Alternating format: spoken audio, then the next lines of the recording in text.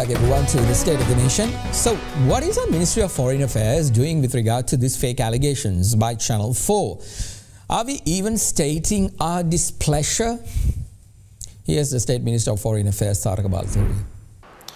The government takes these accusations very seriously and government will be having an inquiry pertaining to these allegations. Uh, but we also know the history of uh, the uh, Channel 4 and we feel that they have a, a Sri Lankan bias. The uh, Asad Maulana, uh, whether this source is a credible source is, uh, is another question that we need to answer. Well, the, uh, the documentary doesn't specifically state what date uh, the uh, uh Mr. Sallay uh, met with the, uh, the Islamic group. but what we can confirm is from February 2016 to October 2018, Suresh Sallay was serving in Malaysia. Uh, but we don't know during, during that period uh, whether he came back and went uh, forward, when, whether he came on holidays to, from Malaysia or not. That's something which I think we'll have to get find out from the Ministry of Defense. That was uh, the State Minister of Foreign Affairs, uh, Tarak Balasuriya. Well, Minister of Justice, Dr. Wijedasa Rajapakse, back uh, in, I believe, around in 2017 or 2018, alerted the Sri Lankan parliament that ISIS was in fact recruiting. That entire speech fell on deaf ears of the Yahapalana. And a couple of years later, 275 innocent lives paid the price. Joining me now is the Justice Minister himself. Minister, thank you very much for taking the time. I know you're really busy. Um, I really appreciate you speaking to me. Uh, did you know back uh, when you made that speech in Parliament that Gotabaya Rajapaksa was the head of ISIS who had the capacity to move nine suicide bombers to win his presidency, as claimed by Channel 4? Your reaction, sir? When I made a statement in the Parliament on 18th November 2016, that was 29 months prior to the Easter Sunday attack. I was not aware about the Easter Sunday attack, but I knew that the country's security situation was at a very grave risk, especially when the Inspector General of Police was appointed and also after the appointment of the Defense Secretary, I gave sufficient warning to all those who are responsible of the security of the country that country's security situation is at a stake. But none of them took any remedial measure. Uh, 29 months after my statement only that happened, I made the statement in the parliament.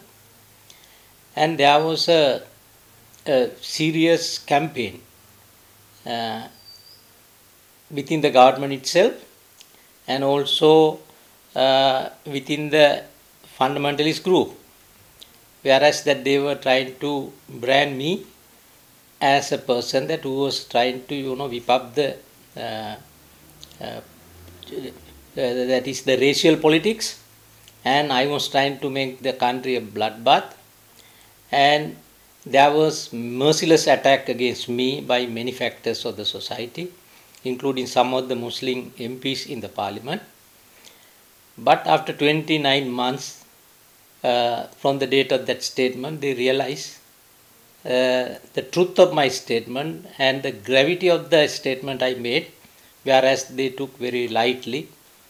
Uh, now, of course, uh, we have lost over 269 lives, over 502 people were injured. All our brothers and sisters, Sri Lankans.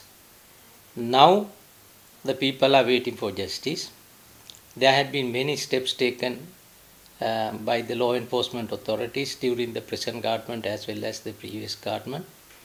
But still that the people have some doubt about as to who were instrumental in making that operation.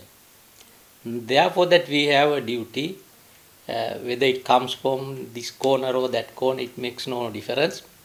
If there is any material uh, for us to investigate it, even with the slightest material, that we will do it.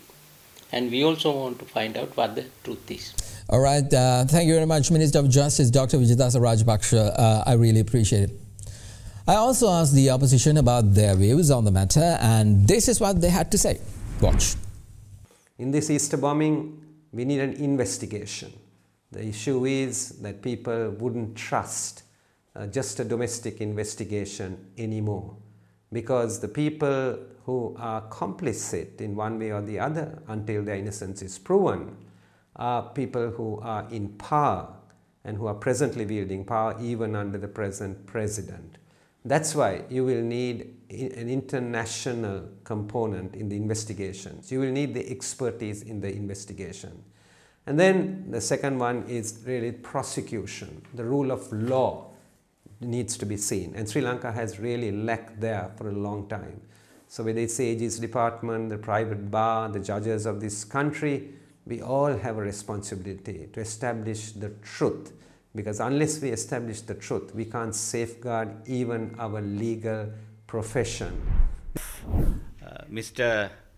Pillayan Asad Maulana has provided everybody the missing pieces of the jigsaw puzzle uh, to find out who were the real master brains behind the Easter Sunday attacks. So, when we analyze uh, the response by various uh, government officials, two ministers yesterday in parliament, one called for an international inquiry with the uh, support of the opposition. The other uh, said that uh, any uh, exposures to destabilize the government institutions will not be permitted. So we can see the, uh, the reluctance and uh, the restrained uh, approach to this uh, whole exposure that has now uh, put the cat among the pigeons. Also joining me now is former Human Rights Commissioner of Sri Lanka, Dr. Pratibha Mahanamahewa. Thank you very much uh, for taking the time to uh, join me. Your reactions to this so-called earth-shattering video by a dishonest media institution? Uh, Mahieash, thank you very much giving this opportunity. Actually, this is a video they have released timely near the Human Rights Council session, which is going to start September. Actually, this is a baseless, false information, misleading information, incorrect information. Then who are behind this? Actually, they tried a similar video, killing fields, and that was a fake video in UNHRC sessions. The Sri Lanka team has nicely proved this is a baseless and unproved video. This is the second episode of the drama. And what they try to do, disclose even that army intelligence officer was not in Sri Lanka at the time. Or even they could have easily released when the uh, Easter Sunday commission was there.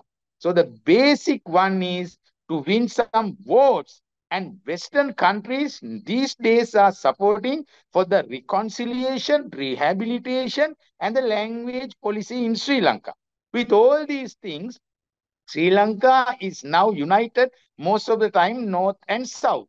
So LTT supporting diaspora and the transnational LTT government in Denmark, they need something to stay with their views and vision. So they tried in Canada Bill 101 that also now disproving. And this is the second attempt where you can see no direct evidence, circumstantial evidence, nothing. A whistleblower. A whistleblower can do anything, but we should at, at least we don't need any type of commission to investigate this because they have already withdrawn that video from the scene. So whatever their efforts now fail, they will come up with another video. Why they take channel 4 only? There are other media, CNN, BBC, those channels are there. But they can't go behind that channel because a fake video, they will authenticity and put it. The only channel is where they try to a bankrupt channel, they try to get some viewer points, and the other other side, they want to discredit what they have done in the past. And also, the real pick is their LLRC commission, Lesson Learned and Reconciliation Commission. If you really see, you will understand what is Channel 4. So the government having a responsibility, So this is their unconditional, unconditional. you have to disprove that. Absolutely. Uh, Dr. Pratibha Mahanamahewa, former Human Rights Commissioner of Sri Lanka, thank you very much. As you very clearly know, the former president responded to this drama. In a media statement, the former president called this an anti-Rajapaksa rant with no merit. In his media release, the former president emphasized that he had no contact with Major General Suresh Sallay until he was elected president in 2019, after leaving his position as defense secretary in 2015. A short break now. When we return, we will discuss rising oil prices and their possible impact on our economy. This is the State of the Nation. Back in a moment.